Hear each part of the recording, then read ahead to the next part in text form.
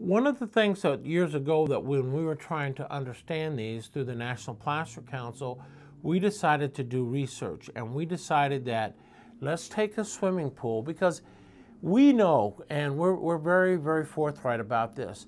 Look, you can make little coupons in a petri dish and throw them in a fish tank in somebody's basement. That's not real science. Come on, guys. If, if you want to see or understand more about nodules, nodules, do a pool in actual fill conditions. Get a pool that's actually pool size. Treat it a certain way. Then you're duplicating what happens in reality out in the field. And so to that end, what we did was we took a swimming pool, and this was located at A and A, which is part of Shasta Pools, and we broke this pool into three different sections. We multi-coated it, which is a bond coat type membrane over an existing surface, and we had towel in essence, racing lanes, breaking up the three sections, put in three different types of materials, and so that we could say that not any one section, well, every section was different from the other sections. And then we tried to pull back in with these three different types of material. Then what actually happened was as we did that, we, we then started up the pool and then we very quickly made the water corrosive and it would, would basically go from a corrosive etching condition, leaching condition, to a precipitative condition or a scale forming condition. So we alternated the chemistry. And sure enough, and remember, three different sections, we grew nodules in all three of these sections. And again, all three sections, different materials. So there, no two sections are the same. After about uh, a year, we drained it to analyze it. Well, first thing we did was generated etching deterioration or spot etching in it. So we did that first. And we knew that was probably going to happen because of the low carbonate alkalinity. Then the next thing that we did is we grew nodules in all three sections. And these are not little bumps, but we actually grew 50 cent size, as you will see in the photograph, nodules on this. In this first slide, this is the section, this is section number one, you can actually see the size of the nodule growing out of, on the wall. Now, this particular nodule was different from the other two sections in that this nodule at this location had a delamination. How do we know that? Because when we drained it, we tap tested it. There was no bowing or blistering or anything of that, but we knew by tap testing it, it was hollow. So we knew in this particular one there was a delamination. And when we cut it, to cut it out and remove it, we cut a square. And as we cut the square at the bottom underneath the nodule to remove it, water would run out. So we knew that water had, getting, had gotten back behind this particular nodule growth site. And one of the things that we did, we removed this section and we wanted to analyze this nodule, so we removed it for analysis. And one of the things that we noticed was that even though the, the plaster itself was intact, that water had gone through and gone through a microfissure, a pathway into the matrix, and subsequently began to crystallize not just at the surface with a deposit, but also on the backside. And I tell people that when nodules form, in some cases, because of the pressure they exert, they're able to shatter plaster. And people go, Well, I don't understand how crystallization pressure can shatter something or cause it to crack or expand and delaminate, that kind of thing. And the example I use is I, I prove it to homeowners real simple. And the way I do that is I go, if you don't think crystallization pressure can exert tremendous force, I said, let me take your radiator off your car, which is steel, I'll fill it with water and let me put it in a freezer and freeze it. I said, do you know what that ice will do as it crystallizes? It expands it will shatter or crack steel. And that's just from crystallization pressure. So, crystallization pressure, and in nature, salts can generate a lot of crystallization pressure. And one of the things that we see sometimes is that nodules, not all cases, but in some, can actually, you know, crack the plaster and cause it to uh, expand and separate. The next slide, and to the right of the pipe, you will actually see a small nodule. And this section is so interesting because at this section we had no delamination. This section it was perfectly sound, hard bonded. Now again, a second set of material. There was no separation here. Uh, we tap tested it. It was at a nice sound, solid sound. But you can clearly see there is a nodule growing there, a different set of cement, a different set of sand, uh, different finisher finished this section than the other section. Yet we have the growth. And once again, the common denominator here is the condition of the water on all three sections was the same for all three sections. In this slide, you can see that we actually have cut the nodule away. And, and the reason we did that, because one of the things that we know sometimes about nodules is so interesting, you can cut them away and patch them and you'll get a nodule grow right back in almost the exact same spot or in the same patch. And they'll grow at the edges of the patch, they'll, they'll come back at the patch itself. And to prove that, I included a photograph where this pool was later. We plastered that patch in, and guess what happened? The nodule grew back in that patched area. We had another, another calcium grow in that patched area. Again, that's why I said right at the beginning, Nodules are these extraordinary phenomena. There's sometimes no tried and true reason for them, but you got to deal with them on a case by case basis because they are extraordinary. Um, sometimes the growths, again, will pick up uh, metals or other things in the water like calcium and precipitate, sediment, and they'll be incorporated into the actual growth itself. One of the things that we did when we were doing the work in the Arizona test pool was we wanted to apply some laboratory techniques. So what we did is we would cut out nodules, uh, cut out sections with nodules, and in this example here, we would apply two different uh, techniques that are very, very commonly used in science uh, for uh, petrographic analysis, and that's called scanning electron microscopy, a very recognized technique, and energy dispersive spectrometry. And those are to do two things, to give us a microscopic look at what's going on down inside that section to see things we cannot see with the naked eye. And number two, by using EDS, the energy dispersed spectrometry, to tell us what is the exact chemical makeup of that nodule. What is that? What is it? We've had a lot of theories. In this shot, you can actually see, and this is one of the best shots, on the top of the uh, surface of the plaster, you can actually see a little like honeycombing, and then you have this growth up here. That's the actual nodule.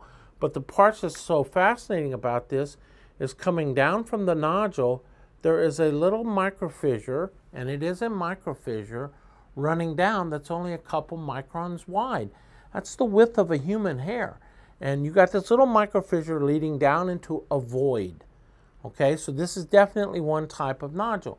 And so we took the scanning electron microscope and we wanted to learn more and there is another blow up shot of the nodule itself. And you can actually see this little pathway down and there's a, a, void and inside that void we began to realize that there was other things inside that void.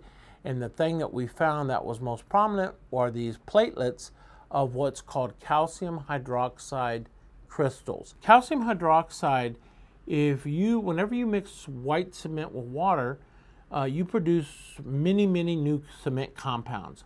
But the one that's the most common is a thing called calcium hydroxide. Either directly or indirectly from mixing white cement with water, 27%, 24 to 27% of what you form is calcium hydroxide.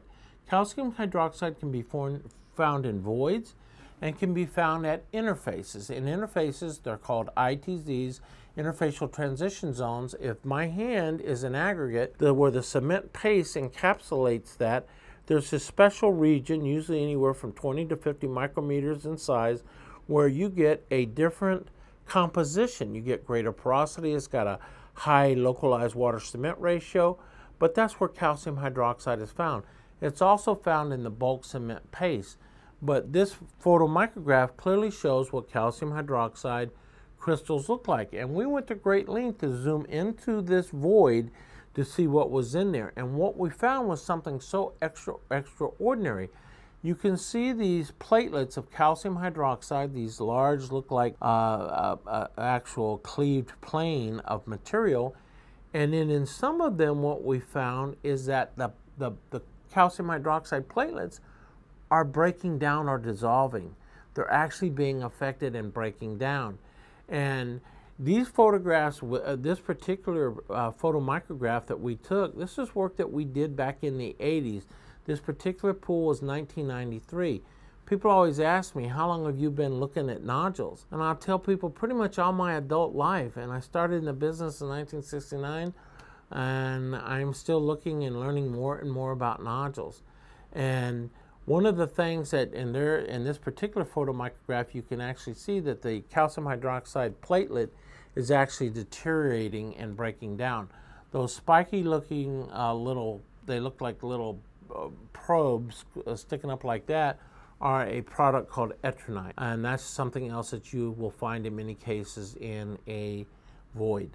Uh, this particular screen, what you're seeing is this is the interior, the, the, testing are using EDS, energy dispersive spectrometry, to figure out what is the composition of this material.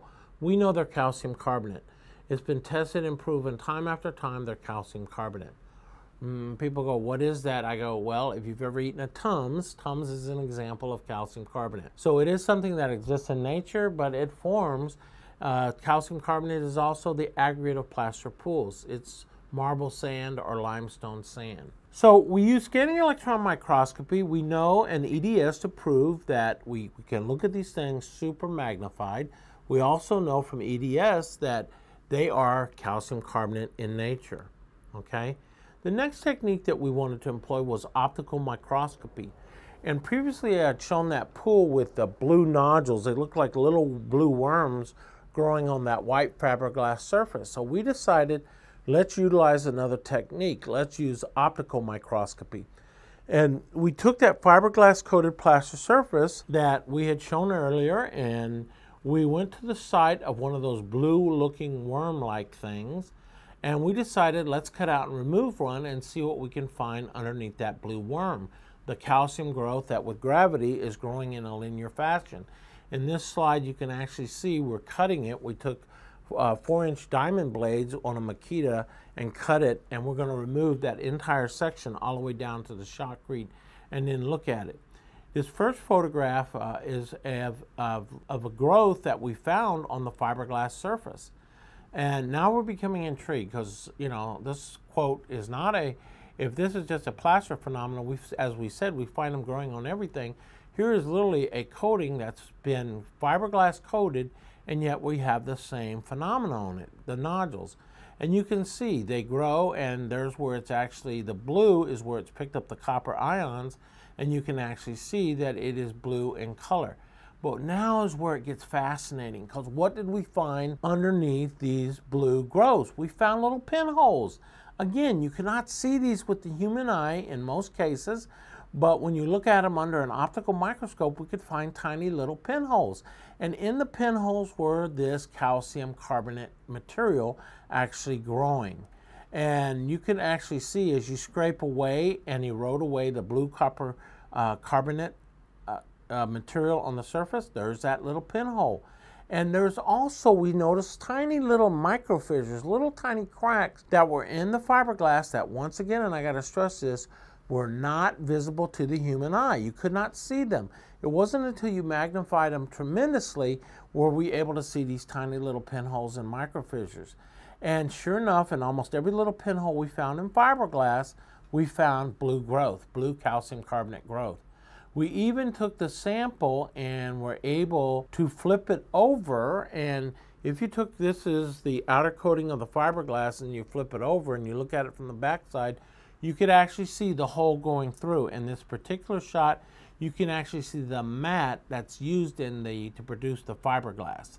Fiberglass coating over a plaster surface, but here's where it gets super in, uh, interesting, is that when we looked at the underlying plaster, we found what?